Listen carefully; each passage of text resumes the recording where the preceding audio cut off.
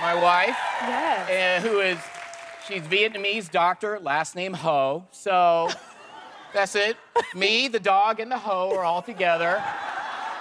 Posing for the holidays. What's up, dog? Hi, Ho. You know.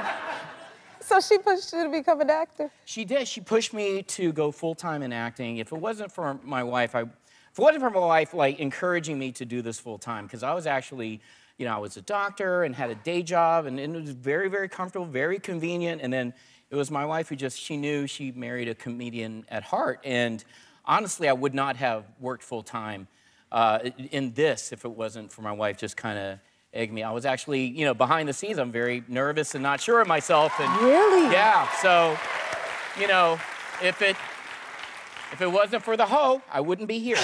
So, so it's a holiday, so ho, ho, ho.